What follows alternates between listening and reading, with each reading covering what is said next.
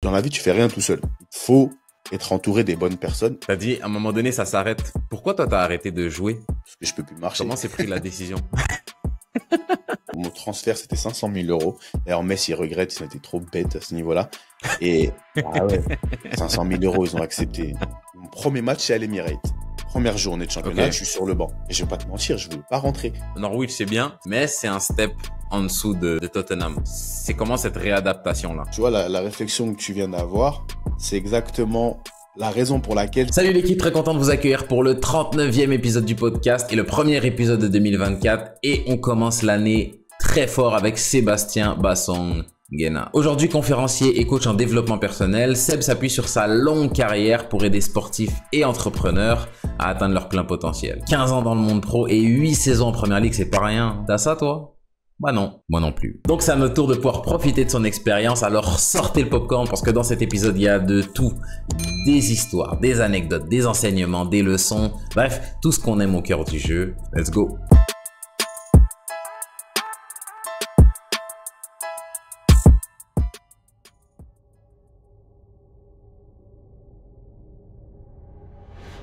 Sébastien Bassong, bienvenue au cœur du jeu. Merci, merci de me recevoir. Merci d'avoir accepté l'invitation. Euh, Est-ce que tu peux te présenter rapidement pour les gens qui te connaissent pas? Je m'appelle Sébastien Bassonguena, plus connu sous le nom de Sébastien Bassong, parce que sur mon maillot, à l'époque, je pouvais pas mettre Bassonguena. Tu vois, c'était comme quand on était petit, c'était trop long. Hmm. Mon père, il voulait toujours, c'était trop long et ça m'énervait. Mais en grandissant, j'ai voulu changer. J'ai pas pu. Euh, ah, ex, euh, ex-footballeur professionnel. J'ai 37 ans. Issu de la génération 86. Yenneuf Clairefontaine, la secte, on est fiers de ça. Euh, Camerounais, né en France. Je vais pour l'équipe nationale du Cameroun. Quoi d'autre? Père de famille, mari, un homme bien, voilà, tranquille. Voilà, Plein, plein- plein de bonnes choses. Il y, a, pas il y, a, il y, a, il y a une chose, la chose par laquelle je voulais commencer, que t'as pas mentionné dans ta petite intro. Tu fais du développement personnel. ouais, je savais que t'allais arriver. Ouais. Ouais, ouais, ouais. Je suis aujourd'hui coach, euh, je suis speaker, keynote speaker et coach consultant en développement personnel. Plus précisément, on va dire pour moi, euh, dans la performance via le développement personnel. d'accord. D'accord. Donc, euh, ouais, c'est ce que, c'est ce que je suis aujourd'hui et je suis bien dans, dans mon, dans ma nouvelle casquette, dans mon nouveau métier. La, la première question que j'ai par rapport à ça, c'est euh, pourquoi? Pourquoi le développement personnel? Parce que il y a le, le foot. Quand, quand je demande aux joueurs pourquoi tu as fait du foot, ça c'est quand même simple. Depuis que je suis tout jeune, je suis tombé dedans, je suis tombé amoureux du ballon. Voilà, c'était ma passion. Maintenant, quand, quand arrive ce qu'on fait après le foot ou même à côté du foot, souvent c'est la, ré- la réponse est pas la même. Elle varie de joueur en joueur, d'homme en homme. Donc là, ma question, c'est ça, c'est pourquoi le développement personnel? Première question, je t'en lance deux, trois comme ça, après tu, tu, tu pars. Pourquoi le développement personnel? Qu'est-ce qui, dans ton parcours, t'a orienté vers ça? Et depuis quand t'es intéressé par ça? À toi la, à toi le Alors, flambeau. pour- pourquoi le développement personnel? Tout simplement parce que bah, j'aime gagner, je suis un, je suis un high performer, c'est-à-dire comment on dit ça en français? Je parle beaucoup, je parle beaucoup anglais des Ils, fois. ils- vont, ils vont être habillés. T'inquiète, je suis canadien. Des fois, j'utilise des anglicismes. euh, Non, d'accord, parce que les gens disent ouais, des fois tu fais trop, tu te la racontes. non, je dis non, non, je vis à Londres euh, depuis 15 ans. Le, le- Et, le euh, mot d'ordre ici, c'est ils, ils se démerdent. S'ils comprennent pas l'anglais, vous allez chercher un dictionnaire, les gars. Faut. Ah, hein. ça, faut- ça j'aime, ça j'aime beaucoup. Et euh, donc ouais, non, non, je suis, j'aime la performance. Tu vois, j'ai toujours aimé gagner. Donc le développement personnel, je me suis toujours posé la question comment tu peux devenir meilleur dans tout ce que Hmm. tu fais? Donc pour moi, ça, ça allait de, c'était une évidence que il fallait que je, me, je progresse de la même manière que sur un terrain de foot, tu, tu- quand tu commences, t'es pas le même joueur que quand tu finis.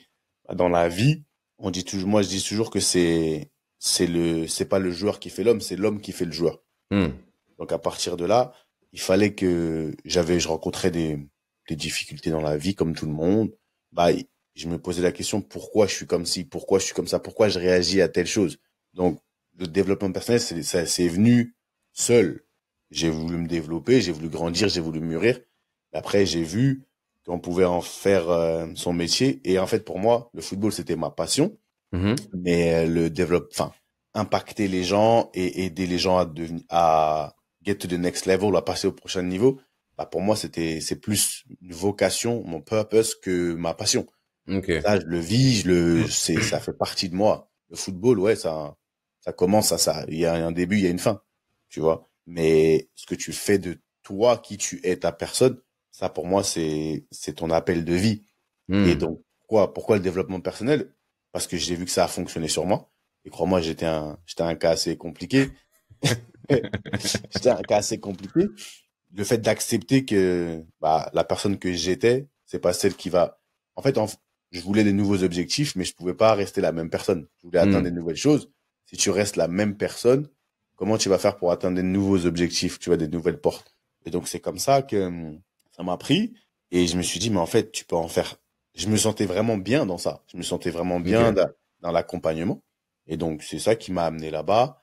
Je sais pas ce que j'ai répondu à tes trois questions en même temps. Pas, pas aux trois, mais c'est, déjà un, un très bon début. Et là, j'en ai une quatrième qui vient de se rajouter. Parce que tu as dit, euh, le foot, c'est ce que je fais.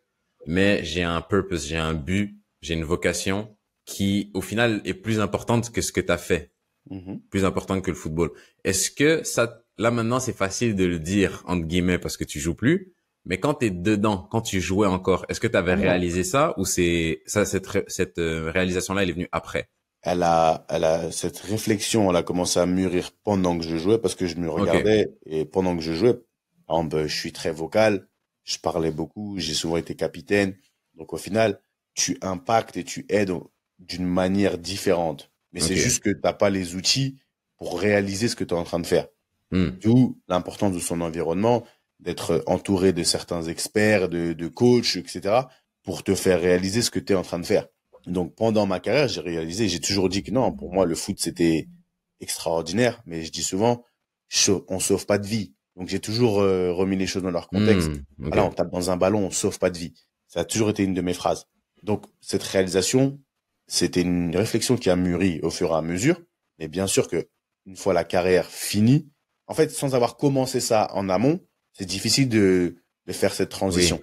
Tu vois, Mais il faut l'avoir comment Tu vas, elle va pas être finie euh, bah, pendant ta carrière. Non, c'est pas normal. Ça serait même pas normal. C'est un processus, mais qui arrive à la fin. Et là, tu commences à comprendre et à, tu vois, à comment dire, tous les points s'alignent. Et là, donc c'est à ce moment-là où j'ai vraiment compris. Je me suis dit non. Et quand j'ai eu mon coach de développement, mon coach de performance, développement personnel qui m'a aidé, bah je comprenais tout. En fait, j'étais en avance sur ce qui, je comprenais ce qui, là il voulait m'amener. Je comprenais Oui. vite, je comprenais vite et je pouvais limite euh, anticiper ce qu'il voulait me faire parce que et Parce ça me qu'une plaisait. partie de la réflexion avait déjà été faite de ton côté. Voilà. Et en fait, il venait juste me donner des réponses. Je dis souvent qu'il y a trois clés au succès. Il faut le vouloir, il faut savoir comment faire. Et moi, je savais pas comment faire. Hmm. Et il faut être prêt à payer le prix. Tu vois, j'avais envie, j'étais déterminé, mais je savais pas comment faire. Lui, il m'a ramené, il m'a ramené un peu la, tu vois, la direction, le plan. Ok. Et, et au moment là, je me suis dit, et j'étais en pleine carrière, et j'ai dit non, non, non, non, non, c'est mort. Je vais faire ça. Ça, c'est moi. Ça, c'est moi à vie. Ok. Et que tu veux, tu veux pas, voilà ce que je vais faire. Ok. Et euh, ce coach là de développement personnel, Hmm. quand est-ce qu'il arrive dans ta carrière? Ah, quand je suis en galère, quand t'es pas bien. il, il, a- il arrive quand t'es, quand t'es à la croisée des chemins, quand tu passes une, un moment, quand tout va bien, tu ressens pas le besoin, forcément. Tu vois? Mais quand tu commences à avoir des problématiques, tu vois que les problèmes, ils commencent à revenir encore et encore et encore et, et limite, tu t'en sors pas. Si t'as un peu de, d'honnêteté intellectuelle et envers toi-même, t'es pas dans le déni, tu te dis, ah, il y a quelque chose que je fais mal. Hmm. C'est sûr qu'il y a quelque chose que je fais mal. Qu'est-ce qui se passait dans ce moment-là, à cette période-là, qui fait que c'était le bordel un peu pour toi? Bah, à ce moment-là, je suis, je suis capitaine de mon équipe à Norwich. On a envie, on vit une, période pas très bonne. Et en fait, on va dire que je suis, vu que je suis capitaine et moi je prends mes responsabilités, j'ai pas de problème à ce qu'on dise que c'est de ma faute. Tu vois, Mm. j'ai pas de problème à ce qu'on pointe le doigt vers moi et tout. Pour moi, ça fait partie du rôle de leader, etc. La chose est, une chose est que, à ce moment-là, j'ai un nouvel entraîneur qui arrive. Il me retire euh, le brassard, il me retire mon, Oui. mon- il me retire euh, mon numéro. J'ai, enfin, on arrive en début de saison, c'est le bordel. C'est, enfin, ça c'était la fin de saison.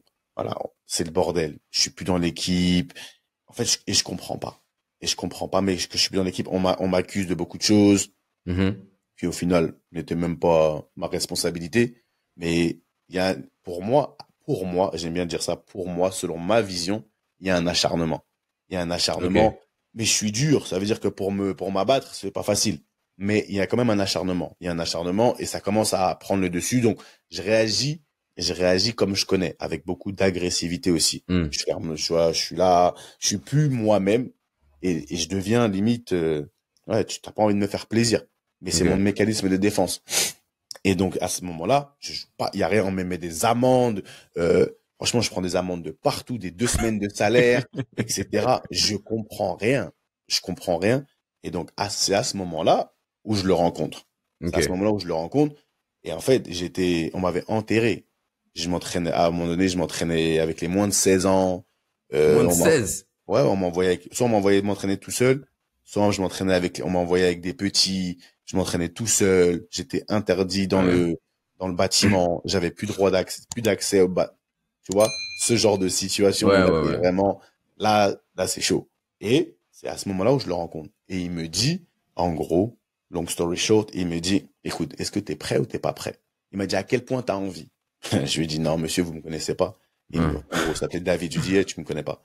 Il m'a dit, à quel point t'as envie? Il m'a dit, si je te demande, si je te dis, à 4 heures du matin, tu te lèves, tu vas faire ci, tu vas faire ça, pour retourner la situation, est-ce que tu seras prêt? J'ai dit, tous les jours. Il m'a serré la main. On n'a même pas signé de contrat pour te dire. Il m'a serré la main. Je lui ai serré la main, j'ai serré sa main. Je lui ai dit, c'est parti. Hmm. Et en fait, et j'ai retourné la situation avec lui.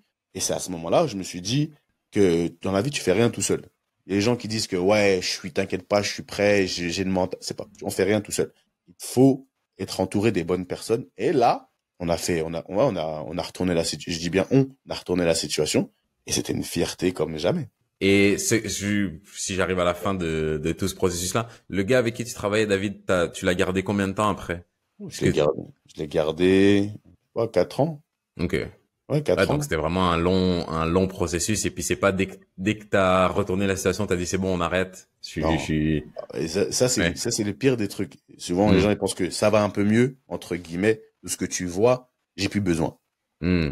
C'est là où tu ils ont pas en fait, c'est là où tu te rends compte qu'ils ont pas compris comment ça fonctionne. Hmm. Que des mauvaises t'as pas j'ai 37 ans, j'ai peut-être euh, construit, je sais pas moi, 30 ans de mauvaises habitudes. Tu penses que c'est en un an qu'elles vont partir? Oui, oui, oui, clair. Le calcul il est vite fait. Et toi aujourd'hui, tu fais ça avec, avec. Euh, t'as dit t'es du côté de la, on va dire, tu aides à, à optimiser la performance au travers du développement personnel. Si Mhm. si si c'est une bonne façon de le résumer. Mhm. Tu fais ça avec qui?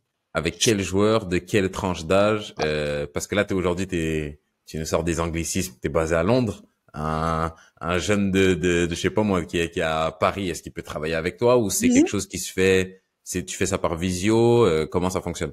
Déjà, il faut je je le dis souvent, il faut un certain un certain âge Mhm. Il faut un certain âge parce que tout le monde ne va pas, un, un jeune trop jeune, pas assez mûr, ne va pas comprendre certaines choses que je vais vouloir lui expliquer. Pas parce qu'il est bête, mais tout simplement parce que son développement, Oui. même psychologique, il n'est pas encore arrivé à terme, C'est clair. tu vois. Donc, il- moi, je travaille avec des joueurs de foot, des clubs de foot, mais surtout avec des hum, corporates, des gens des entreprises, etc. Parce que pour moi, ouais, c'est, c'est tout aussi, c'est aussi, c'est même mieux.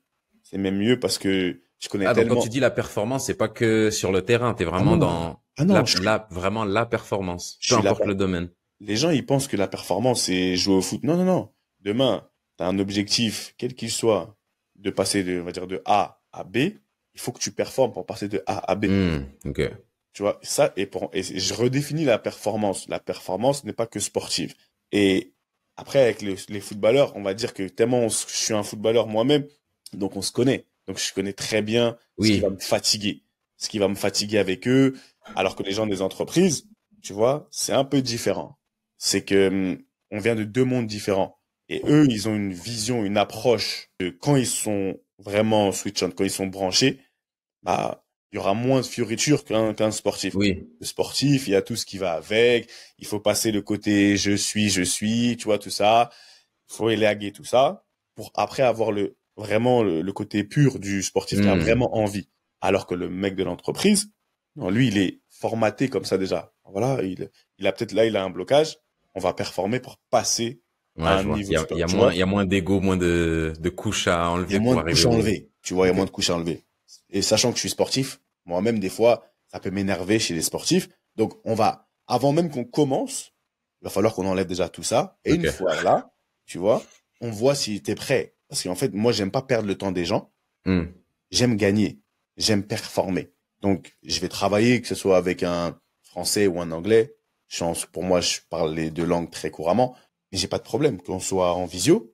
Parce qu'aujourd'hui, voilà, regarde, on n'est pas, on n'est pas ensemble, mais l'interaction, elle est bonne. Aujourd'hui, il y a des outils qui te permettent. J'ai, j'ai plein d'outils très interactifs. Je me suis un peu geekisé. Donc, à distance, c'est possible. Mais c'est sûr que en présentiel, c'est encore autre chose. Oui. Tu vois, c'est encore autre chose. On passe du temps. Parce que mon travail, aujourd'hui, c'est pas, moi, je suis pas un prof.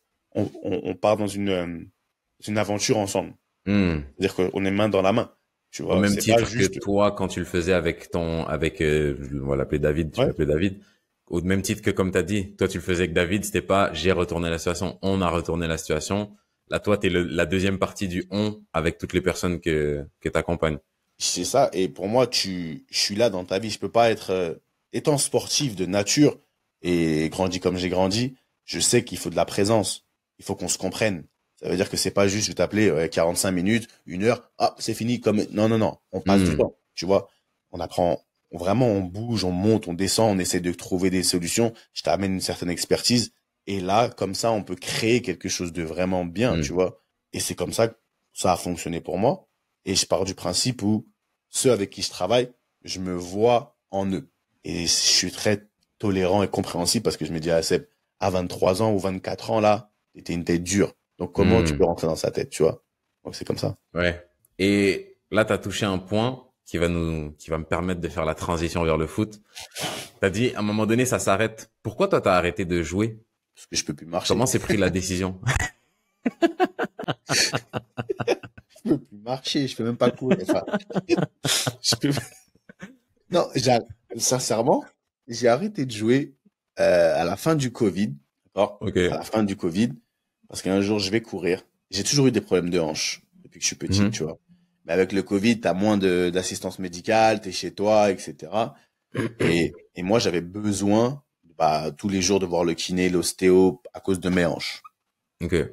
Tu vois, quand tu es dans un club de haut niveau, bah là, bah, là, le système médical, il est tellement, il est tellement au top que ça tient, ça te tient. Vois, t'as des trucs. Covid vient, hum, hum, c'est plus possible. Et un jour, je vais courir mm. pendant le Covid et je sais pas, et tout se bloque. J'avais tellement mal que tout se bloque. Bam, j'arrête et je, bloque vraiment comme ça. Ah, j'essaie, tu vois, je suis dur, je suis dur au mal. C'est repart. Mais là, bloqué de chez bloqué. Mm. J'ai dû appeler, on est venu me récupérer, je pouvais pas marcher. Et je suis parti faire des IRM et j'ai vu que là, il y avait mes hanches, elles étaient vraiment, il y avait plus rien, plus de cartilage, os contre os, ça faisait des débris à chaque fois. Et là, et ça a fait en sorte que le chirurgien m'a dit, je sais pas comment t'as fait, mais là, en fait, il m'a expliqué avant même de voir mes, mes IRM ce qui s'est passé. Je dis c'est exactement ça. Mais il m'a dit tu vois là, ça il y a avant tu avais peut-être un peu là, il y a plus rien. Donc à chaque hmm. moment, ça fait des débris et en fait ça ça s'est bloqué et je pouvais plus bouger et c'est pour ça que j'ai arrêté le foot. J'ai arrêté le foot, j'ai dit tu sais quoi quand ton corps il te dit stop, bah au final allez, salut, tu vois stop. Mais j'étais déjà fatigué aussi psychologiquement. J'étais fatigué. Et, et du coup ça la, la prise de décision, elle est un peu facilitée dans ce, dans ce cas-là? Ouais. Où tu te dis, bah, ouais, j'ai pas trop le choix, en fait? Ah, j'ai pas le choix. J'ai pas, ouais. j'ai pas le choix. Ça aurait été peut-être un peu plus difficile si j'avais été en, si j'avais été en santé encore. Est-ce que je me pose la question, est-ce que j'aurais fait comme beaucoup, force, c'est-à-dire forcer? Forcer parce que tu connais pas autre chose et c'est à ce que c'est, mhm. tu restes dans ce que tu connais par peur d'aller affronter l'inconnu tu vois. Hmm. Et c'est ça que je combats aujourd'hui, c'est qu'il y y, a, y, a, un temps pour tout. Et j'aurais jamais voulu, par exemple, tu vois, qu'on me passe sur YouTube, que les petits, là, ils m'humilient parce que je peux plus me tourner. Tu vois ce que je veux dire? Parce que avant, c'est moi qui accélérais les gens. Et aujourd'hui, parce que je suis un forceur, je vais jouer dans une ligue. Tant que tu as l'amour du foot, vraiment, pas de problème. Chacun comme il est. Mais j'aurais pas hmm. voulu être celui qui force, qui va chercher les contrats les plus lointains, sans argent, parce qu'à la fin, tu cherches de l'argent, et juste parce que tu as peur de, de dire j'arrête, tu ouais, vois. Je vois. Ah non, ça, j'aurais... Hmm. Ça, ça, je pense que ça aurait gâché ma fin de carrière. Et tu hmm. finis vraiment sur un truc négatif. Non, non, je peux pas. J'avais peur, j'aurais pas voulu ça. La blessure est arrivée, il a dit, hey, monsieur, allez, stop.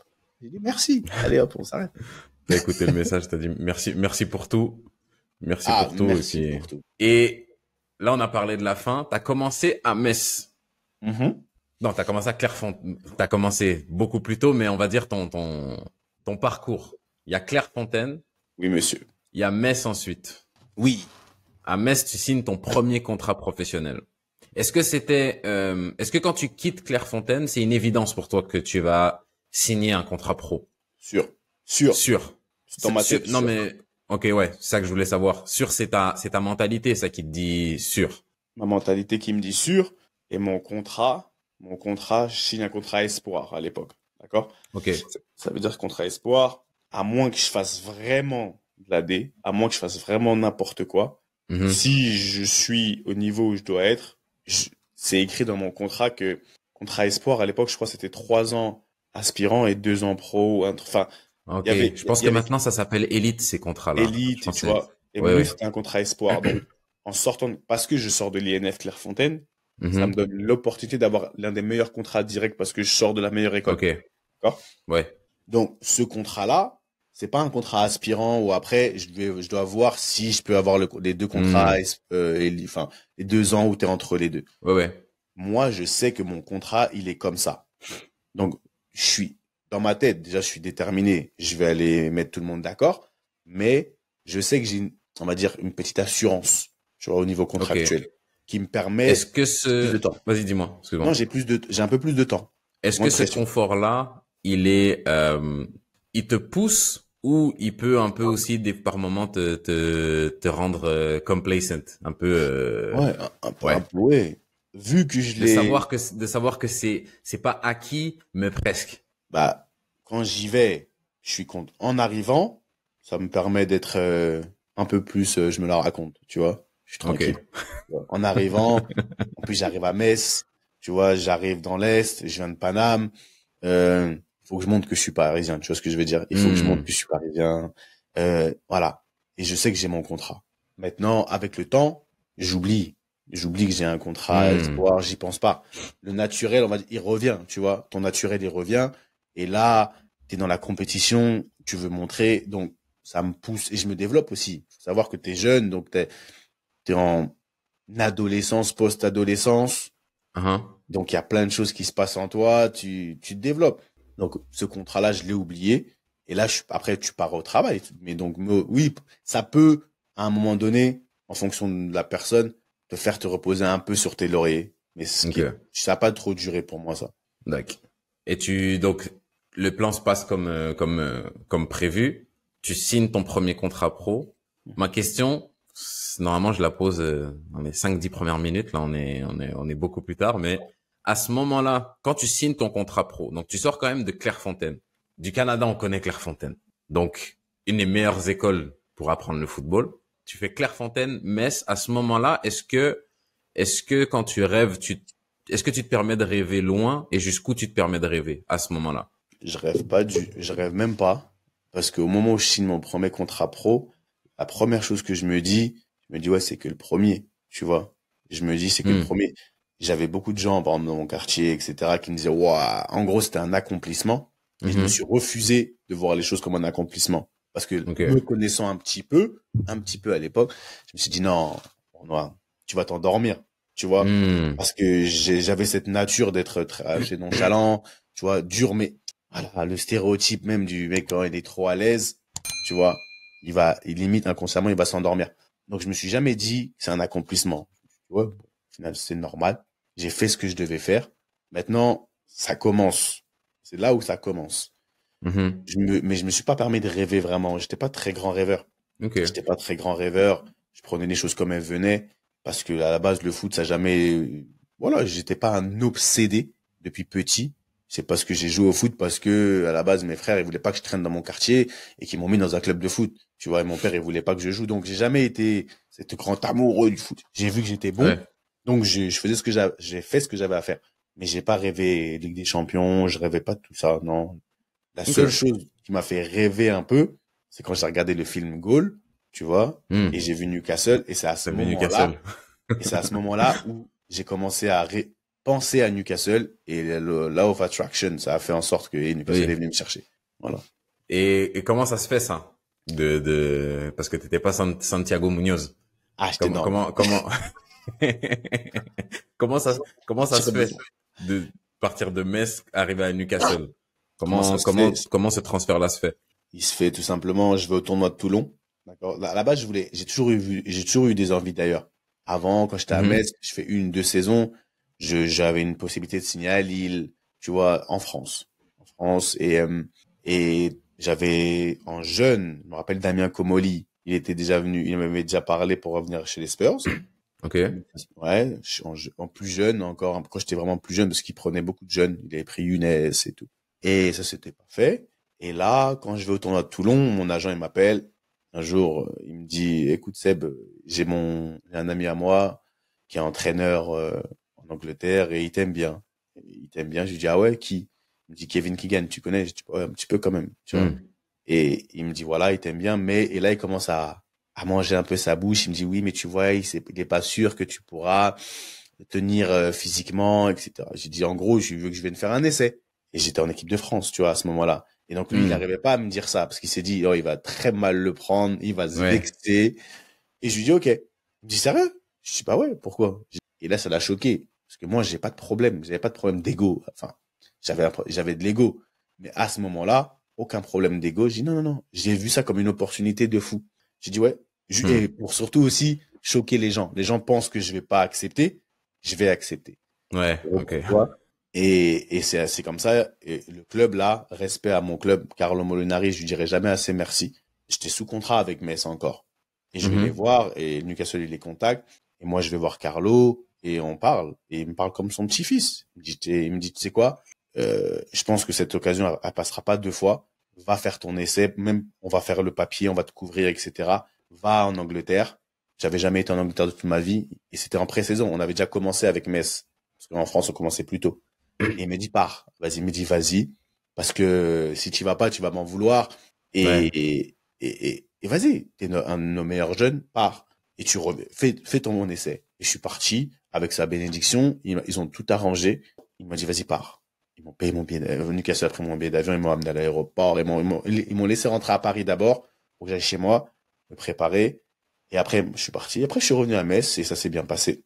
Et j'ai signé à Newcastle comme ça, de manière un peu plus. Allez, je te la fais vers la version courte. Ouais.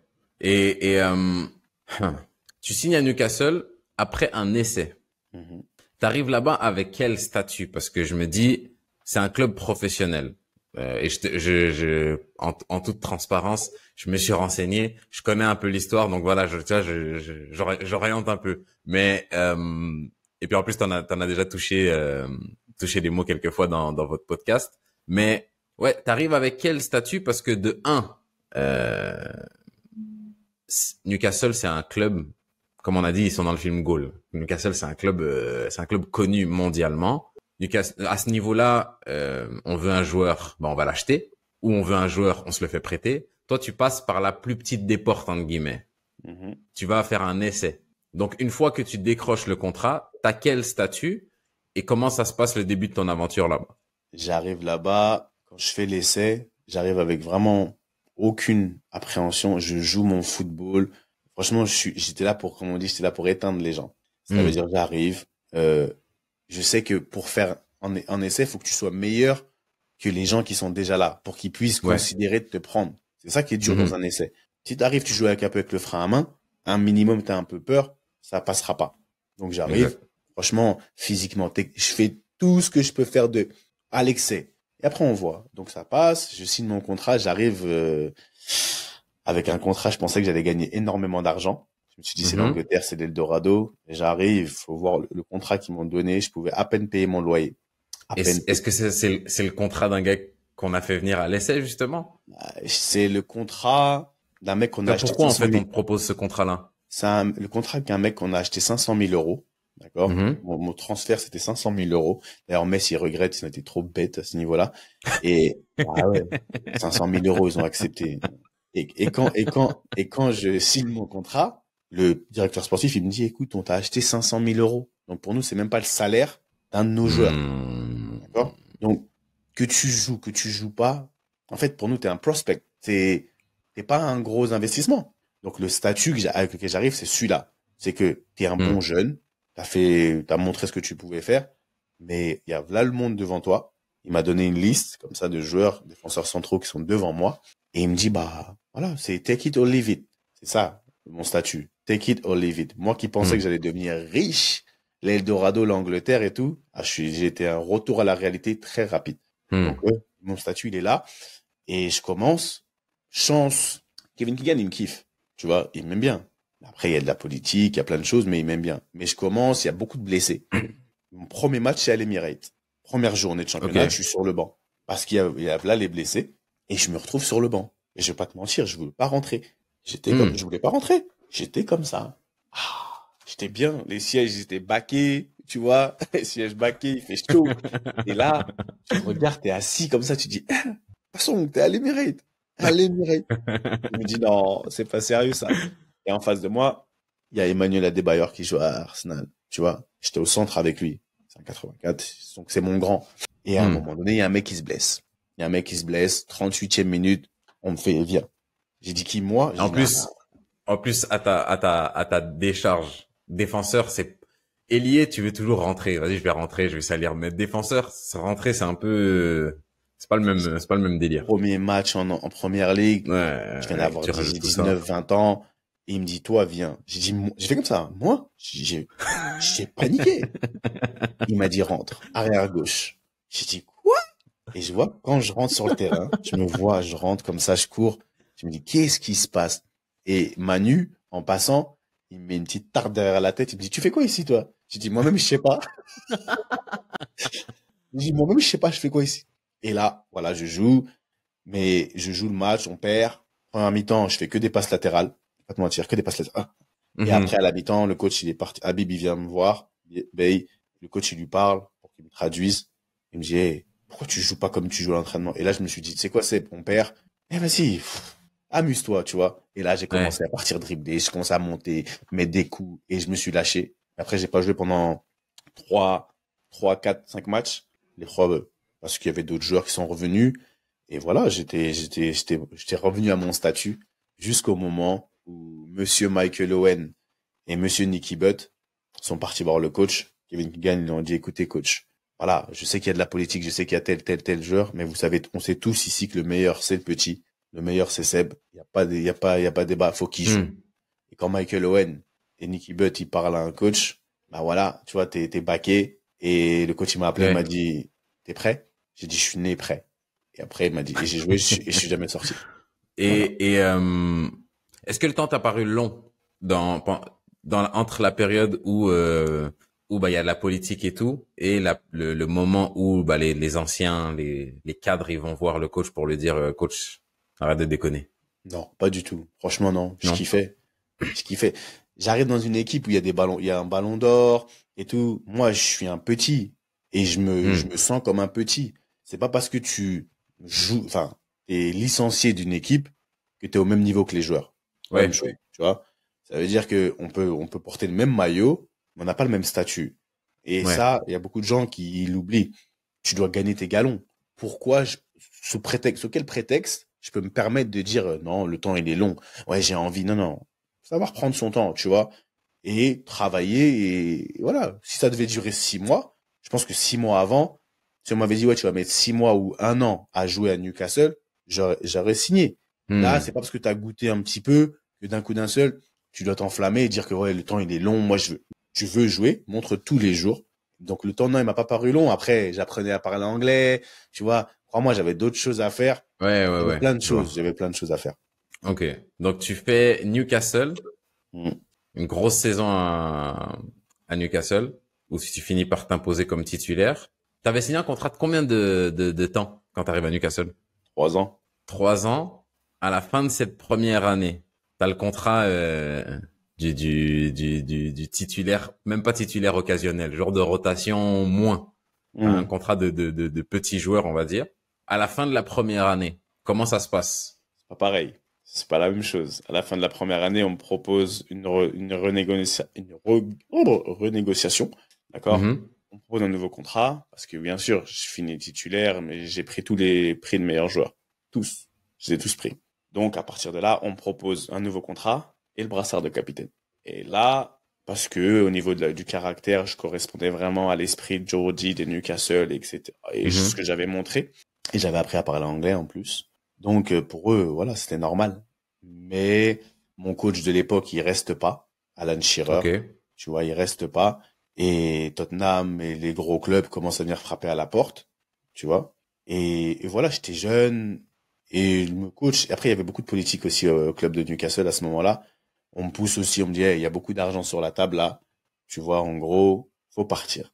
Tu vois, faut partir. J'ai une petite question sur ça.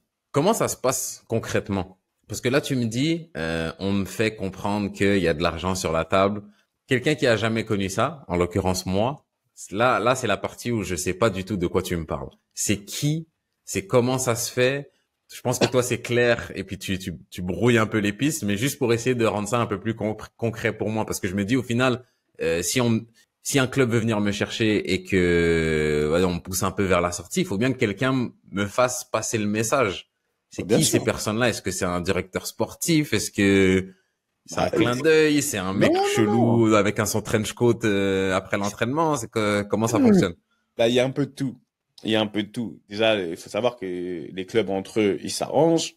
Il y a des, il y a des, le- la, comment dire, le montant de ton transfert n'est pas, souvent n'est pas, ne vaut pas la qualité du joueur, etc. Il y a des arrangements, c'est du business to business, c'est du, c'est du B2B, tu vois? Mhm.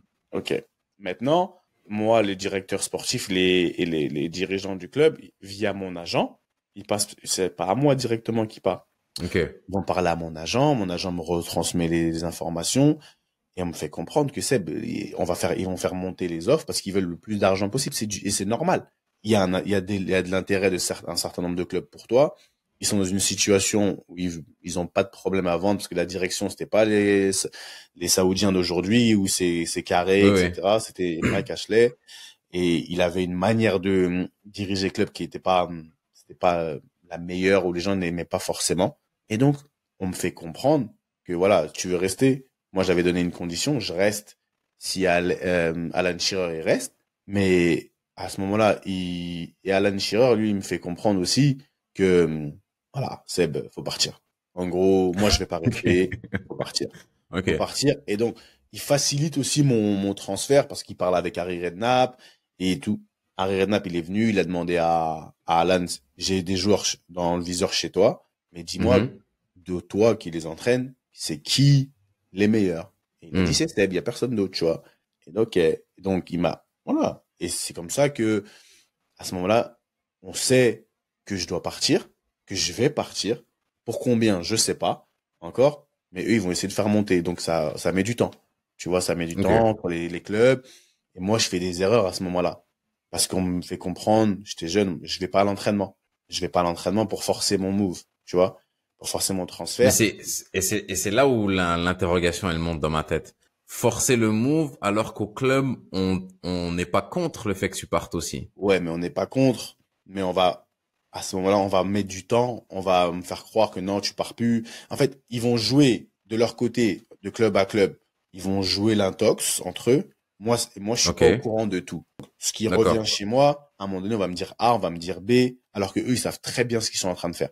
Hmm. Après, moi, c'est ça le problème, c'est que j'ai un agent, et l'agent, c'est mon intermédiaire. C'est qu'à un moment donné, je, je me dois d'écouter et de baser ma réflexion sur ce que mon agent, il me dit. Oui, D'accord? clair. Est-ce que moi, dans mes émotions, tu te rappelles ce que je te dis au début, ce que je vis au moment là, je suis pas clair dans ma tête. Hmm. J'ai jamais vécu ça. Tu parles de toi.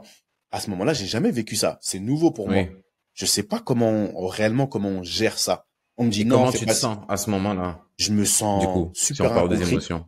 Je me sens super incompris et, et je me dis, mais attends, attends. attends. Non, non, je veux ça. On m'a dit ça. Quand tu me dis un truc, tu le fais. Non, mais t'es en train de me trahir. Et non. Et en fait, il y a plein de trucs qui se mélangent dans ta tête. Et après, on me dit, on m'appelle, on des clubs, ils m'appellent, ils me disent, va pas à l'entraînement. Les clubs m'appellent pour me dire, va pas à l'entraînement. On Hmm. va payer ton amende. Je dis, mais non, mais moi, j'ai même pas d'argent. Vous voulez que je prenne des amendes? Tu vois? on me met des amendes extraordinaires parce que tu vas pas à l'entraînement, c'est normal. Et à ce Ouais. moment-là, je fais l'erreur de pas aller à l'entraînement. Alors que j'avais pas, Hmm. moi, je voulais y aller. J'ai aucun problème avec Newcastle. Newcastle, c'est mon club. Et à ce moment-là, dans la jeunesse, j'écoute et j'y vais pas. Ça va dans la presse. Oh là là, c'est ba- alors que tout le monde savait que j'étais amoureux de Newcastle. Et c'est là où Hmm. tu dis, je suis en train de perdre pied parce que je suis en train de même perdre le contrôle. Je fais des choses que je veux pas faire. Et là, Oui, ouais. tu vois, je fais des choses que je veux pas faire de base parce que je suis jeune et que je connais pas et, en- et j'écoute ceux qui sont censés connaître. À ce moment-là, c'est comme ça que les choses. Et après, voilà, on m'appelle, on me dit ouais c'est bon, il y a un avion qui t'attend, etc. Et tu vois, d'un coup d'un seul, tu te réveilles un matin, ouais c'est bon. Comment ça c'est bon? Hier, euh, non c'est bon, vas-y, l'avion il t'attend, l'avion privé, tu vas à Londres. Et c'est parti. Et tu te retrouves au centre d'entraînement des Spurs, parachuté là, et là, et là c'est autre chose. Et là t'arrives à Londres, tu vois des paparazzis partout, et, et ça, ça te suit. Et là c'est une autre vie. Hmm. Ça va trop vite. Et, et cette, euh, c'est vu comment à Newcastle quand tu quittes le, le fait, le fait que tu, bah déjà le fait que tu quittes. Après, j'imagine ça c'est, ça c'est le business, mais le fait que tu quittes dans ces conditions-là, où vas-y, j'ai arrêté de m'entraîner. Euh, ouais, comment c'est perçu? Bah très mal. Parce qu'ils avaient ils ont pas compris, ils ont dit que tu vois tu tu quittes un ba- un bateau qui coule et et surtout tu quittes de la mauvaise des manières. Et c'est très famille, Mm. c'est très il y a beaucoup de valeurs dans le nord de l'Angleterre. Alors que j'ai mis peut-être un certain nombre d'années à à rétablir le tu vois la vérité Hmm. et comment c'était perçu. Bah et je peux pas leur en vouloir, eux ils font en fonction des informations qui qui leur sont données. Oui, clairement. Et la presse, etc. Et c'est là où j'ai vraiment appris. Quand je commence à apprendre le métier du football, tu vois. Et je dis, ok, d'accord. J'ai capté, j'ai capté, j'ai capté. Quand je suis revenu à Newcastle et, Et- tout, on m'a bien sifflé. Ouais. et l'agent, l'agent que t'avais à ce moment-là, est-ce que c'est l'agent que t'avais depuis Metz? Ok. Même. Euh, cet agent-là, tu l'as gardé combien de temps? Ouh. 8, 9, 8 ans, je pense. Ok, d'accord. Ouais, Est-ce que Bon, ma- c'est mon, mon seul et vrai agent que j'ai eu. Enfin, le seul. d'accord Longtemps. Et la question que j'avais, c'est est-ce que hum, hum, hum.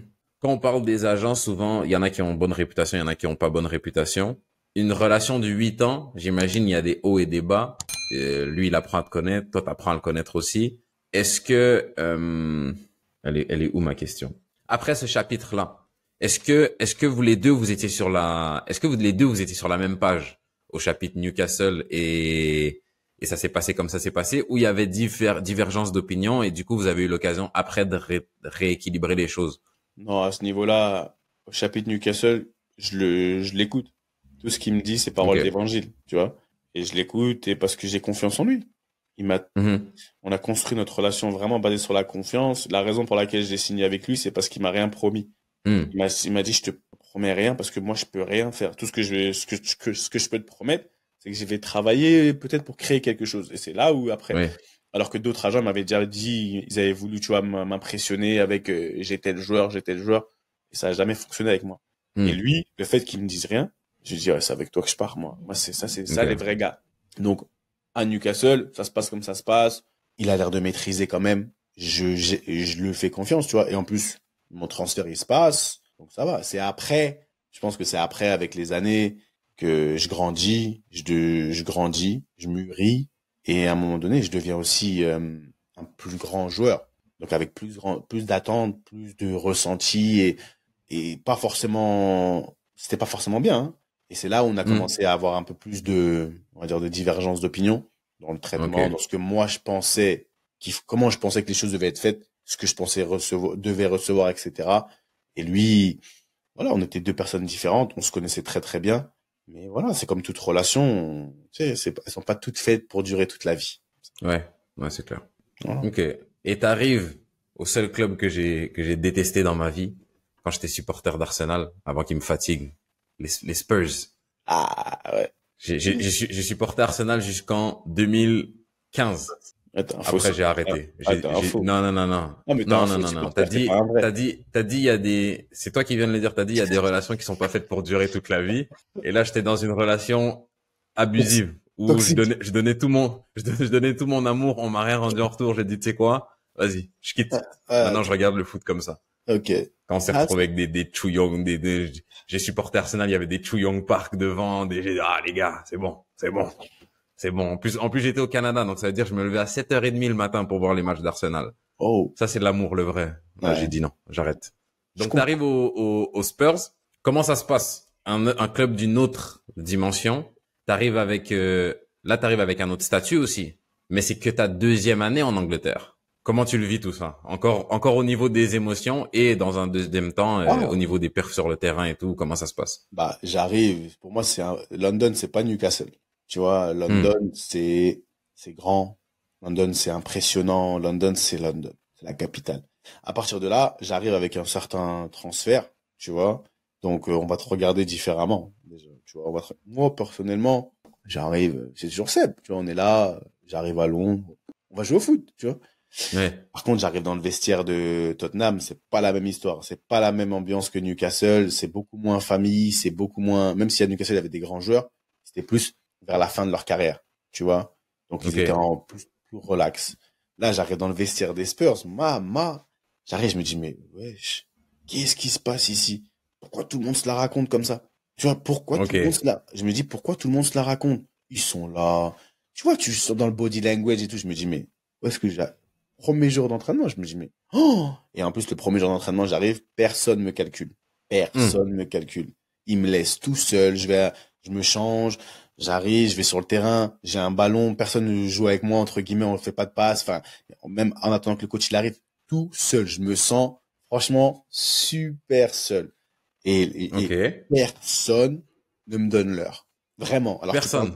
personne ne me donne l'heure.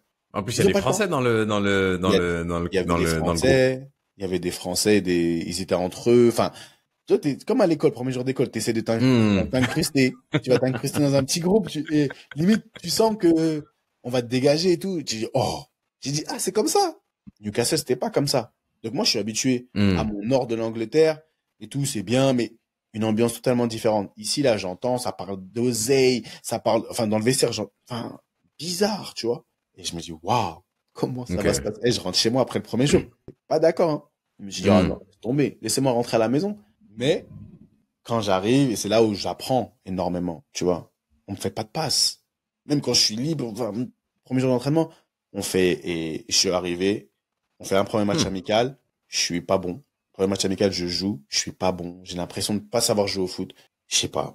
Mais après, on joue Liverpool, ouverture de championnat, et je marque. Et là, ça a tout Ah, changé. tu, tu commences, tu commences, tu dis t'es pas bon, mais si, si on te fait jouer quand même le premier match de Non. championnat, c'est que, Moi, je, trouve- moi, je trouve que je suis pas bon. ok, voilà.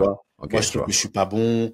Je sais pas, tu vois, c'est un peu, mais eux, ils ont, les coachs, ils savent Oui. l'arrivée, etc. Mais, premier match du championnat, à, à domicile, Tottenham-Liverpool, je commence le match et je marque.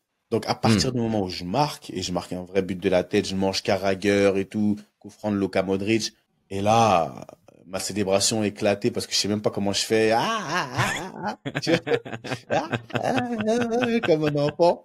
Mais c'est ce but-là qui change la donne. À partir de ce but-là, Hmm. Sky Sport arrive et que c'est tout le monde arrive. Ledley King, il vient, il me prend. Oh, c'est mon petit, ta, ta, ta. Fin. À, Hmm. à partir de là, dans le vestiaire, j'arrive, je peux marcher comme ça. Et, Ok. yo, what up, wagwan, bravi? Ok. Et ça a changé. Là, Avec des, avec des wagwan, des, Yeah. Là, ils m'ont considéré, ils m'ont considéré, ils m'ont dit encore, en gros, t'as réussi ton test, bienvenue dans l'équipe, tu vois, bienvenue Hmm. dans l'équipe. Donc, à en ce fait, c'est c'est ça la question que j'avais. C'était c'était pas le mood entre les joueurs euh, qui sont déjà qui font déjà partie de l'effectif. C'est plus le rythme d'initiation pour le nouveau qui arrive, ou ou l'atmosphère juste en elle-même, elle est un peu plus austère quand même qu'à Non, elle est qu'à plus Newcastle.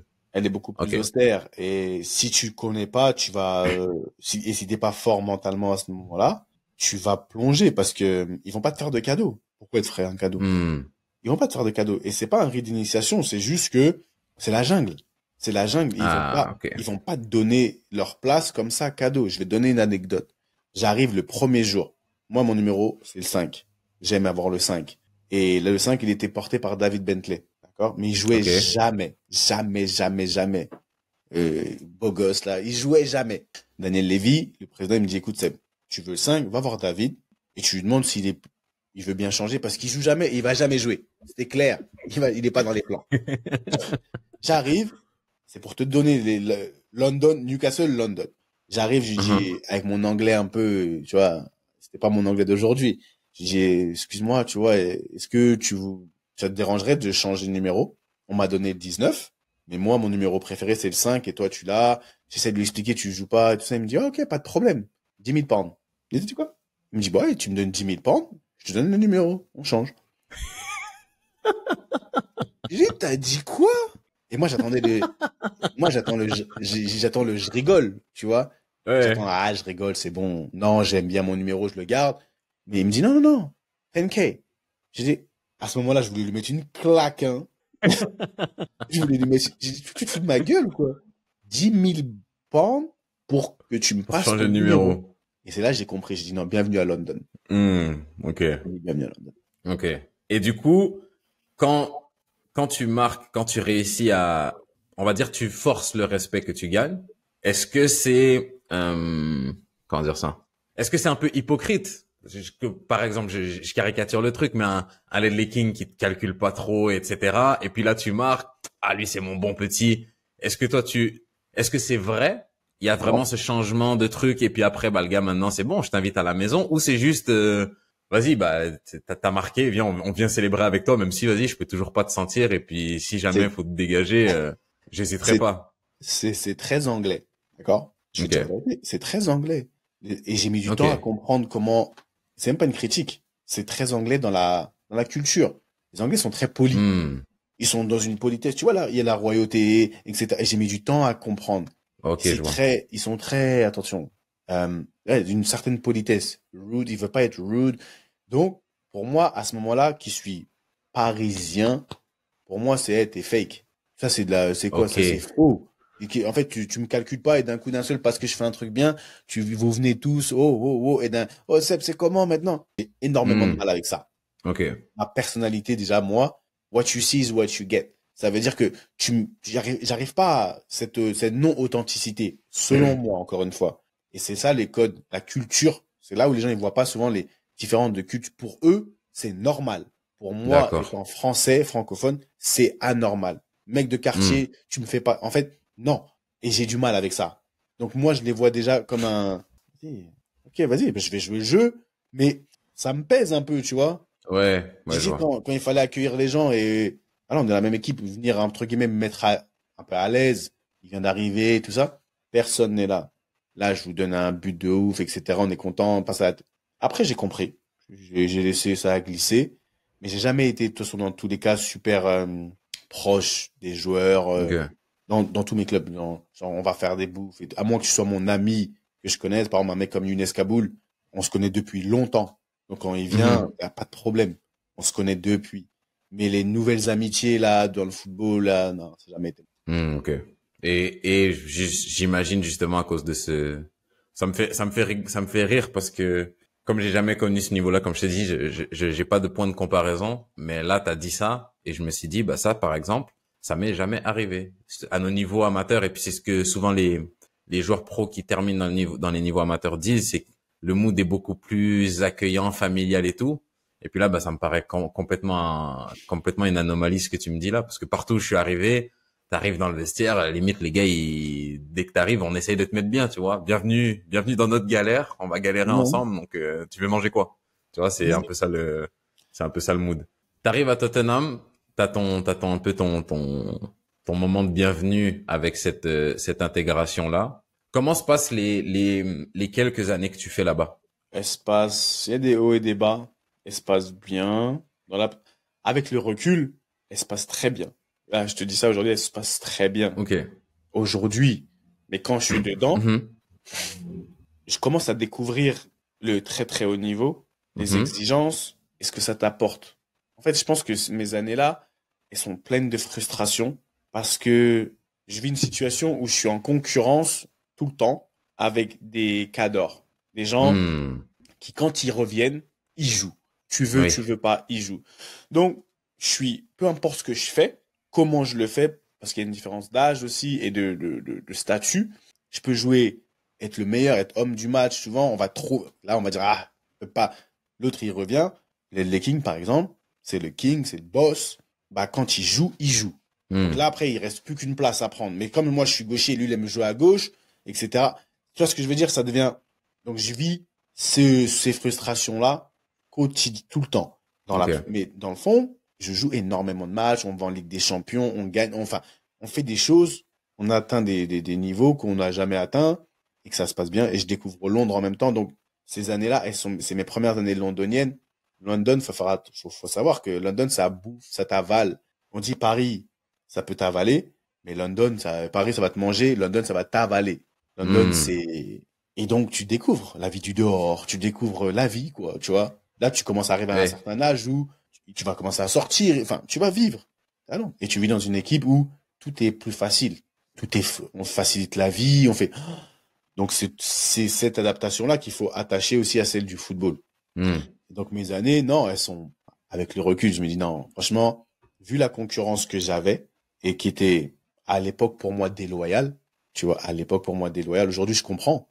Je comprends et je peux dire aujourd'hui non, si j'avais été coach, Seb, par exemple, j'apportais moins d'assurance qu'un Galas ou qu'un Ledley King, même s'il était plus vieux. Donc, en tant que défenseur central, aujourd'hui, j'aurais- je peux dire oui, je comprends. Je prenais trop de risques et ah, Ok, si je vois. le coach il pouvait avoir moins de, de, de peur, vas-y, c'est tranquille, tu vois. Donc aujourd'hui, je l'entends. Mais à l'époque, difficile. Très, très Hmm. difficile. Et des fois, des- et là, ça, ça montait. t'as Des, des fois, tu pensais que tu étais en dépression, etc. Oh là là, tu as découvert des émotions, des, tu vois, ça monte, ça descend. Non, on en revient encore à, à ces émotions-là. Ah, c'est, c'est, c'est à tous les niveaux, tu vois. Mais sur le terrain, extraordinaire. White Hart Lane, Ligue des Champions, les trucs qu'on fait à l'Inter de Milan, bon, le premier but que je marque avec les Spurs de toute l'histoire de la Ligue des Champions, c'est moi qui le marque et tout. Hmm. Donc, c'est pour ça que je suis dans l'équipe des légendes, pour ça. Les gens ils disent, ouais, mais c'est une légende des Spurs. Je dis oui, parce que j'ai fait un truc qui ne s'enlèvera jamais, qui va toujours Mm. être, euh, tu vois, dans l'histoire. C'est que j'ai marqué le tout premier but de l'histoire des Spurs dans la Ligue des Champions. Et ça fait que, de facto, je suis dans l'équipe des légendes. Et, euh, et donc, oui, à ce- footballistiquement, tu joues avec des joueurs. Luka Modric, Gareth Bale, les, les- c'est, un autre football. Et ça, tu kiffes. Mais en même temps, c'est comme on te donne une, une sucette dans la bouche, et des fois, on te l'enlève.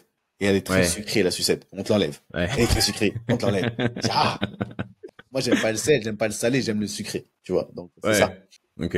Et donc tu connais le, le, le comme tu as dit, le haut niveau, le très haut niveau, la Ligue des Champions avec Tottenham, etc. Euh, t'étais, t'étais, attends, attends, attends. Trois ans. T'étais titu le match où, euh, où Gareth Bale, il a, oui? Ouais. Il y a, a pas besoin de- d'en dire plus, on sait de quel match on parle. Ouais. Ouais, j'étais là, j'étais, j'étais, J'ai assisté. c'était un animal. j'ai assisté. Et tu vois, pour l'anecdote, je dis à Samuel sur le terrain, et quand, quand, quand Gareth, il commence à faire son show là, Samuel, il me dit, mais, Petit, lui là même, c'est qui?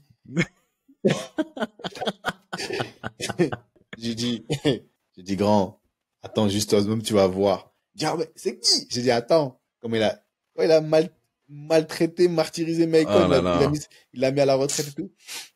Et ouais, j'étais là, je me rappelle, ouais, j'étais dans l'axe, il était à gauche, j'étais là. Ah, c'était magnifique. Ouais. Et j'a- j'avais une, je te pose la question parce que hier, en plus, on en discutait avec des potes. Quand, quand il part à- au, au Real et qu'à à ce moment-là, c'est le transfert le plus cher de l'histoire. Je pense le, je pense que c'est le temps de quelques semaines, c'est le, tra- le transfert le plus cher de l'histoire. Vous en pensez quoi, vous? Parce que nous, moi, on j'avais la discussion, cette discussion-là exact hier, en tant que fan de foot qui est loin de tout ça. Mais toi qui as joué avec un mec comme ça, qui le voit partir, est-ce que pour toi, à ce moment-là, tu te dis, euh, ah ouais, normal, c'est justifié, ou tu te dis, euh, chaud quand même? Que ce soit lui ou Luka Modric, faut partir.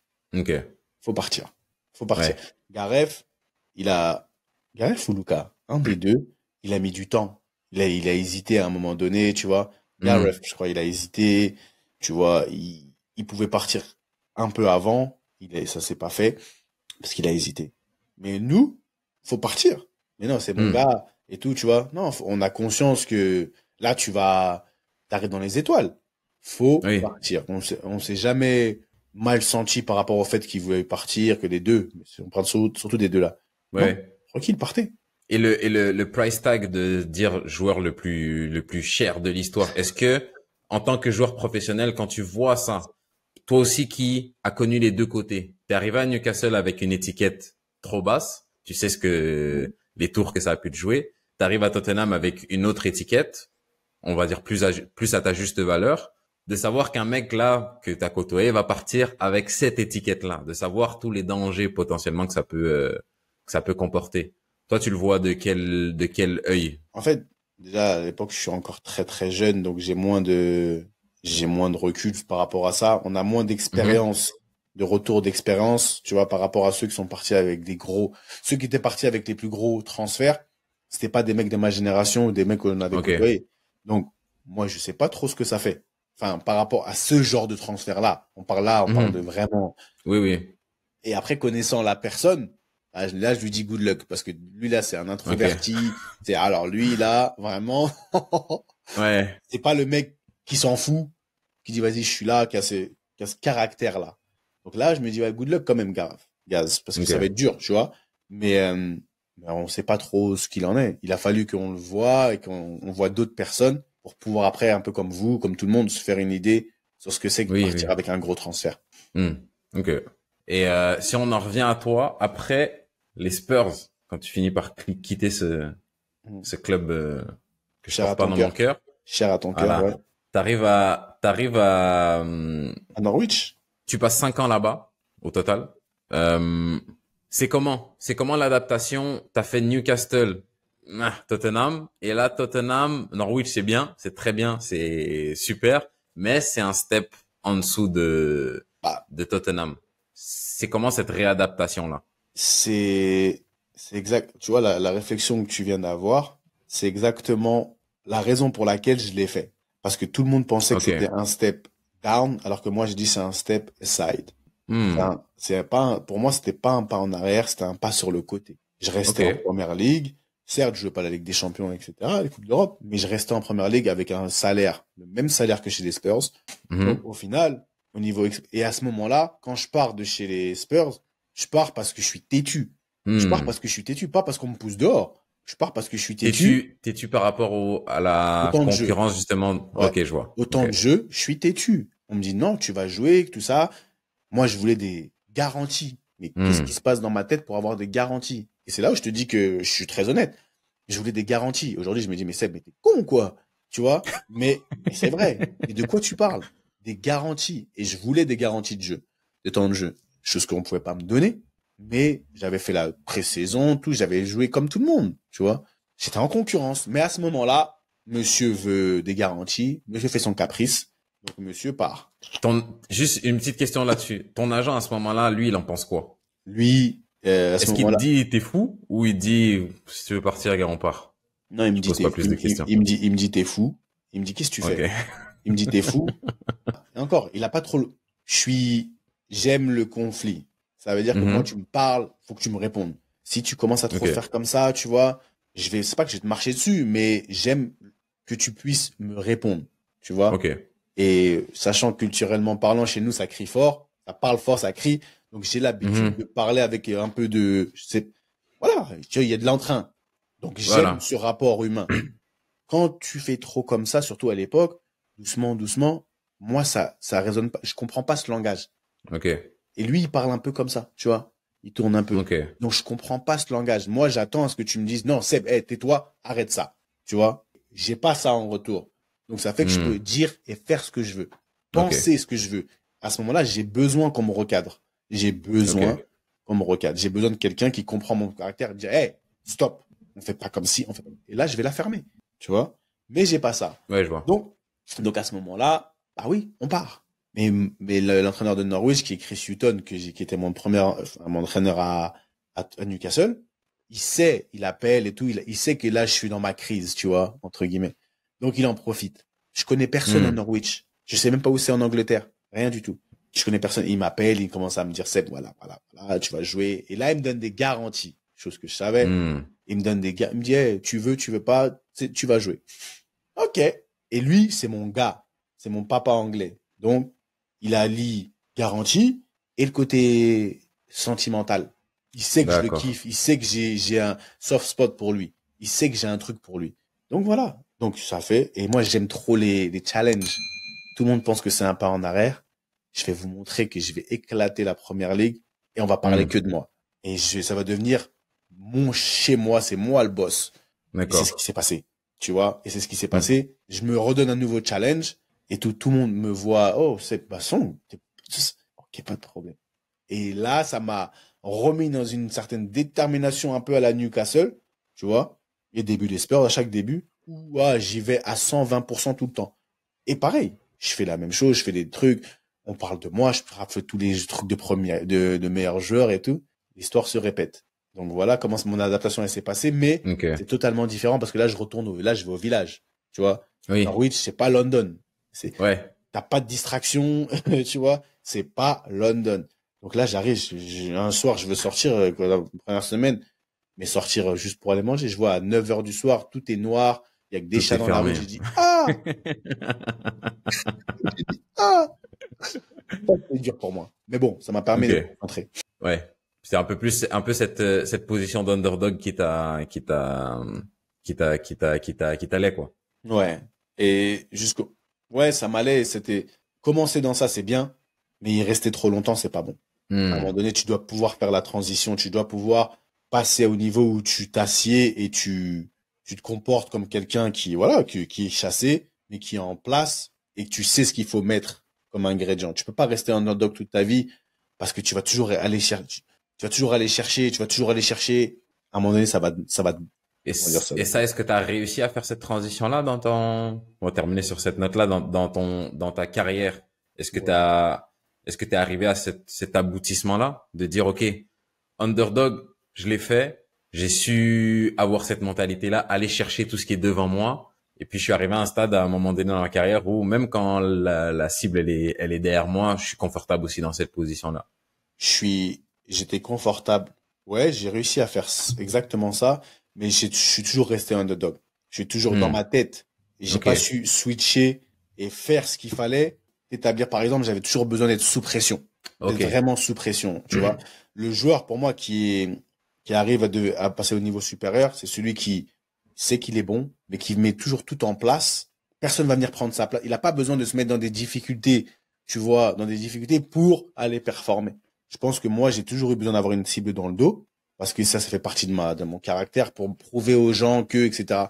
Mm-hmm. Et c'est ça qui, je pense qu'il a beaucoup, il a manqué pour passer au niveau supérieur, mais j'étais à l'aise avec la cible dans le dos. J'étais à l'aise. C'est ce que tu connais. D'accord? J'étais à l'aise.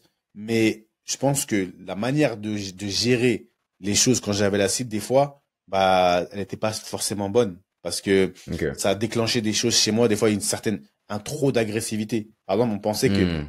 Moi, on pensait que c'est bon, ouais, t'es dur, t'es agressif. J'ai dit non, je suis pas agressif, je suis passionné. C'est pas la même chose. Et mhm. j'ai pas réussi à faire comprendre au monde extérieur des fois, à ceux qui, qui étaient dans mon club, que j'étais plus passionné qu'agressif parce qu'ils faisaient la, ils faisaient l'amalgame. Moi, je me suis toujours senti comme passionné, mais dans un certain autre langage de personnes, de vision des choses, il est agressif. Et l'agressivité pour eux, c'est négatif. Donc attention. Puis on en revient à ce que tu dégageais dans le miroir quand t'as devant quand tu t'es mis devant le miroir et tu t'es dit ok. Et c'est ça. C'est là où tu te rends compte que je pensais dégager de la passion, mais en fait je dégage de l'agressivité. Ouais. Et c'est là, c'est ça qui m'a joué des tours à Norwich parce que c'est pas London. Dans la culture, c'est un peu hmm. plus, tu vois. Donc les gens, ils sont moins habitués à tout ce qui est fort, excentrique, un peu qui qui va. À Londres, dans un grand club, ça c'est le comportement parfait à avoir. Ils sont habitués à ça. Tu vois? Ils savent que c'est comme ça qu'on va chercher la surperformance, etc. Quand tu arrives dans un club d'un standing moins important, ils sont pas habitués, et surtout par rapport à la culture de la ville, ils sont pas habitués à ça. Ils hmm. disaient que j'en voulais trop, j'étais trop exigeant, tu vois? Et moi, je peux pas comprendre ça. Moi, je suis pas câblé comme ça, je suis pas ouais, programmé comme ça. Et, c'est là où tu te dis, mais attention, qu'est-ce que je fais? Je me mets à leur niveau, mais c'est plus moi. Ou et c'est là où ça va créer des frictions. Et c'est là pour, c'est pour ça que je dis des, des démarrages des fois qui sont pas, qui sont pas possibles. Hmm. Parce que euh, c'est pas quelqu'un est mieux qu'un autre, c'est juste c'est pas compatible. Et à un moment donné, c'était plus compatible. Ok. À Norwich, tu connais des relégations?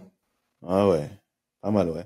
C'est comment de si on rajoute à tout ce que tu viens de dire là, c'est comment de rajouter en plus un échec euh, un échec collectif? Moi, je le prends personnellement. J'ai toujours euh, hmm. c'est comment non. Honnêtement, ça pique, ça pique parce que hum, j'ai pas l'habitude. J'ai pas hmm. l'habitude j'aime j'aime tout faire pour gagner et quand il y a un truc qui va pas je me dis putain qu'est-ce qu'on a mal fait? Et je vais dire qu'est-ce que j'ai et comme je suis capitaine à un moment donné qu'est-ce que j'ai mal fait? C'est sûr que j'ai hmm. ma part de responsabilité dedans que ce soit technique que ce soit au niveau de j'ai pas su j'ai pas su sublimer les autres à un moment précis il y a un truc que j'ai pas fait que j'ai mal fait et je vais toujours prendre les choses pour moi j'ai pas de problème tu vois? C'est ça qui me pique après je vois nos divergences, de, nos visions différentes du football, dans le, comment les choses sont gérées. Tu vois, dans les réactions, c'est quand tu vois, quand tu es dans, dans l'adversité, que tu vois qui est qui. Je vois Mhm. comment les gens réagissent. Et là, c'est ça qui me pique dans les relégations. Après, des fois, tu, en fonction du club dans lequel t'es, bah, t'es plus amené à jouer. Bah, je regarde Norwich aujourd'hui, ils font que ça, tu vois. Ouais. Et oui, oui. D'un côté, je me suis dit, bah, Seb, c'est bon, c'est pas que toi, tu vois. Je me suis dit, c'est pas de ta faute, tu vois. ouais. Mais c'est un truc que je savais à l'époque. Mais quand je le Mhm. disais, par exemple, ah non, tu c'est parce que toi, on m'appelait le Spurs là-bas. Pour te dire, pendant tout le temps, on m'appelait le Spurs. Oh, Ok. toi, t'es le Spurs. Donc pour eux, j'étais différent. Hmm. Et ça m'a énervé. Mais je leur disais que non, c'est la mentalité qui fait que. Et aujourd'hui, même 5, 6, 7 ans après, ils font que ça aussi. Donc ça veut dire que Ouais. beaucoup plus profond, tu vois. Hmm. Et, et pendant ton pendant ton passage là-bas, si je dis pas de bêtises, il y a un prêt à c'est à Watford. Pourquoi? Pourquoi se faire prêter? Bah, Parce Je t'ai rac- Ouais. raconté l'histoire, euh, le moment où j'étais dans le, dans le, dans, dans la merde. Le moment où Oui. là. Bah, c'est c'est- c'est cette période-là. Le moment que je t'ai raconté tout à l'heure. Ok. Le Quand, moment avec lequel on a commencé le Voilà. le podcast. Ouais. tu vois, où, où je finis la saison, je comprends pas, il y a un nouvel entraîneur qui arrive, un caretaker. Il vient, il me sort, il me sort, m'enlève le brassard et tout. La saison finie, on descend. Et on revient. Et là, je prends des amendes. On me dit que je, enfin, on essaie de me faire tout et n'importe quoi pendant la, jusqu'à la fin de saison, les cinq derniers matchs. On part en vacances. Et on revient. Je fais un gros travail. Je me dis, vas-y, tu sais quoi, on va, on repart sur une, on repart sur une nouvelle page blanche, etc. Et j'arrive, c'est là où j'ai plus de, j'ai plus de, j'ai plus de numéro, j'ai plus de casier, j'ai plus tout ça pendant la pré-saison, là. Hmm. Donc, et on me dit clairement, eh, tu peux partir, euh, j'ai pas besoin de toi, j'ai recruté trois nouveaux défenseurs centraux. Avec toi, ça fait Aïe. sept, etc., etc. Donc, et c'est là, que je m'entraîne avec les petits et je m'entraîne tout seul, je pars pas en stage. Ok. Donc, à ce moment-là, je leur dis, je pars pas. J'avais le meilleur salaire du club, je ne pars nulle part. Je vais, je pars pas. Et je les, ils étaient énervés, il était énervé le coach. Ouais. Il se l'a raconté un peu, tu vois, il était là, il avait confiance en lui et tout. Et en plus, il part là là vous étiez en championship. Uh-huh. On part en championship. Ok. Et il, il commence la saison. Moi, je reste. Et le mercato passe. Je suis pas parti. D'accord? Je sais pas ce que je voulais. Mais par la loi, tu es obligé de réintégrer un joueur. Un bon moment, un, Oui. un joueur professionnel. Et, et au moment où on, on fait le la réunion pour me réintégrer, il me dit non, c'est mort. Je regarde comme ça. Mon agent était choqué. Il me dit non, je veux pas. Ce que j'ai vu toi et parce que faut savoir qu'ils a- la championship ça commence avant la première ligue. Donc Mhm. les quatre cinq premiers matchs, ils avaient fait quatre victoires. Donc ils étaient Ah, chauds de ouf. Ils se sentaient forts. j'ai il s'est dit j'ai pas besoin de toi de toute J'ai façon. pas besoin de toi de toute façon et il a pris un peu personnellement et tout. Moi j'avais voilà ça s'était passé tranquille.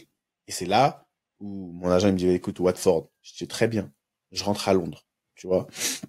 Je rentre à Londres. qui sont en Championship aussi. Parce qu'à ce moment-là, tu peux pas partir au-dessus quand le trans, quand les transferts finissent, la période de Ah transfert, d'accord. tu peux que partir en dessous ou au niveau égal. D'accord. Ok. Donc j'allais pas partir en Ligue 1. Donc là, Watford, London, ils jouent le- la montée. Vas-y, tranquille. Je rentre à Londres. Et je rentre à Londres et je pars en prêt. Et ça se passe super bien. On joue, on est premier avec Watford. Et au bout de 6, 8 mois, 6, 7 mois, en janvier, Norwich me rappelle. Je veux pas rentrer. et comment, comment, juste avant que tu me parles de, de quand tu veux pas rentrer, t'es sous contrat. Là, on est dans le foot, dans le foot euh, métier. Ouais. On, on parle d'amour de, de maillot, etc., de passion, etc. Mais là, on est dans le foot business. Tu pars de Norwich, qui veut remonter aussi. Mhm. T'es à Watford. Watford veut remonter aussi. Mentalement, t'es dans quel état d'esprit? Est-ce que t'es en mode, tu sais quoi, moi, je vais monter Watford et Ah oui. on va, je vais faire monter Watford. Vous allez rester là et après on verra comment comment ça va se passer. Exactement. Ou tu te dis bon bah si Norwich est pro... ouais parce que comment comment tu l'abordes? Exactement. Je leur ai- avant de partir, j'ai eu une, une discussion avec les joueurs qui étaient là l'année dernière. J'ai dit, écoutez, je m'en vais. Vous savez, what goes around comes around. Ne inquiétez Hmm. pas, chacun, a son- chacun a son tour chez le coiffeur. Moi, j'aime ça. J'aime les, les, on parle pas dans le dos. J'ai dit, vous avez voulu me sacrifier, etc. Il n'y a pas de souci. Bonne chance à vous, mais vous inquiétez pas. Tu vois, la roue tourne. Hmm. Je pars à Watford parce qu'en fait Norwich à ce moment-là tellement il me dénigre et tellement le coach il s'en il s'en fout de chez qui je vais. Il Ouais, réfléchit pas que je vais chez un concurrent direct. Ok. Ok. pas de pro- Moi j'ai j'ai fait j'ai signé mon prêt rapidement. Je pars. Je- franchement je les calcule même pas dans ma tête. Je regarde même pas leurs résultats. Par contre, je vais à Watford, je dis, ah, les gars, j'arrive, on va faire les choses bien. Il y a. Troy Dîner qui est là-bas, on s'entend grave bien, on va faire les choses bien. Et ça se passe bien. On éclate tout le monde. On est premier en championship et tout. Wow, wow. Je joue tous les matchs, j'ai repris ma forme. Je joue tous les matchs. On fait, je rejoue mon ballon, tu vois, mon football. Ta, ta, ta, ta. Ah. Et pendant ce temps-là, comme Dieu fait bien ses choses, Norwich fait comme ça. Norwich descend. Norwich, ils sont là, 13e. Ils arrivent à la moitié de championnat. Janvier, Boxing Day, après Boxing Day, 13e de championship Hmm. Voir avec tous les investissements qu'ils ont fait, tout, tout. Bah, Là, là- et là, on me rappelle. Et là, on me rappelle, on me dit, il faut que tu rentres. Je dis, vous êtes des fous, quoi. Il y a un entraîneur qui me déteste, etc. Moi, je suis là, je suis premier du championnat, je gagne, je suis à Je vis ma London, meilleure vie. je vis ma meilleure vie, mon meilleur football. Vous voulez me ramener? Non, faut que tu rentres. On a tout fait avec le président Pozzo pour rester, pour prolonger mon prêt. Faut que tu rentres. Et, euh, et c'est à ce moment-là, je rentre. Et ça se passe euh, bizarrement parce que l'entraîneur qui était là, il est écarté. Il y a un nouvel entraîneur qui arrive. Il me dit, ouais, il me prend dans le bureau. Il fait le malin un peu, tu vois, il fait dur, un écossais. Il me dit, euh, Seb, euh, j'ai besoin de mes meilleurs joueurs. T'es mon meilleur joueur, est-ce que je peux compter sur toi? Comme je dit. J'ai dit, je sais pas. Il m'a dit, avant ça, il faut que je nettoie tout ce qui se passe autour de toi parce qu'il y a beaucoup de bruit autour de toi. Ton nom, il, tu vois, je dis, moi, je comprends pas pourquoi. J'avais jamais, je faisais pas de bruit. Il m'a laissé deux semaines en dehors du vestiaire encore. En plus, quand je suis revenu, deux semaines, Hmm. j'avais pas le droit de m'entraîner encore dans le, dans le bureau. Je venais à des heures différentes, je devenais fou. On était en février, alors Et que c'est pendant ce temps-là, que- pendant ce temps-là, tu travailles avec David sur euh, pendant ce temps-là, je travaille avec David. ne, ne pas de self-sabotage euh, Ouais. pendant, ce- pendant cette période. ça. Et, euh, et là, il me rappelle, il me dit, ouais, vas-y, c'est bon, tu peux revenir. Et je suis revenu, il m'a dit, est-ce que tu vas le faire? J'ai dit, t'inquiète pas, je vais le faire. J'ai dit, la seule, ma seule condition, je donne pas d'interview. Je vais faire mon travail comme je sais le faire, professionnel à mort. Je m'en Hmm. fous de qui est à côté de moi, on va jouer pour gagner. Je vais parler, je vais aller sauver, enfin, je vais faire mon travail. Et je me demande pas d'aller dans la presse, je fais rien de tout ça. Pas de pub, rien de tout ça. Il m'a dit, ok, pas de problème, deal. On a joué les six prochains mois. Le premier match, j'étais sur le banc. Après, j'ai rejoué, j'ai joué tous les matchs et on est monté. On est monté. Et c'est pour ça qu'aujourd'hui, je suis le seul joueur qui a deux montées en une saison. Avec Watford, parce que j'ai joué assez de matchs, Watford est monté. J'ai joué assez de matchs avec eux ouais. Et avec Norwich, la deuxième partie. Donc là, si tu regardes même dans ma chambre, là, juste là-bas, j'ai les deux médailles dans un cadre. Les deux médailles de trophée. Ouais. C'est fort. Ouais, c'est, très donc, fort. c'est ça, c'est comme ça que, c'est pour ça que je suis parti en prêt. Et voilà, quoi. C'est l'histoire de ma vie. Ok. Je, je, je, je conclus sur, il y a, il y a, comme je t'ai dit avant, euh, un parcours riche comme le tien, il y a, il y a plein de trucs à, à couvrir, mais pour aujourd'hui, je m'arrête sur cette note-là, ça me va. Fait une belle conclusion. Ça, on a, on a bouclé la boucle, commencé avec le développement personnel et puis terminé sur, euh, Je Voilà. savais pas comment cette année-là se terminait, mais terminer avec deux montées, c'est pas mal. C'est tout pour l'épisode d'aujourd'hui. J'espère qu'il vous a plu. Si c'est le cas, vous savez quoi faire. Si vous avez des questions, que ce soit pour moi ou pour Seb, bah, je vous laisse nous les poser dans les commentaires. Je vous invite à aller vous abonner à la chaîne YouTube de Seb et à son compte Insta. Allez également vous abonner au podcast Ballon Main Corps qu'il anime avec ses deux amis Ricardo Fati qu'on a déjà reçu dans le podcast et Quentin Westberg que les puristes connaissent. Je vous ai mis tous ces liens-là dans la description en dessous. En ce qui nous concerne, on enchaîne dès la semaine prochaine avec un épisode en deux parties, donc restez à l'affût pour ça. En attendant, je vous invite à me rejoindre sur Instagram pour des interactions plus ou moins quotidiennes. Vous pouvez également me rejoindre sur TikTok pour du contenu exclusif. C'est tout pour moi et en attendant la prochaine fois, peace.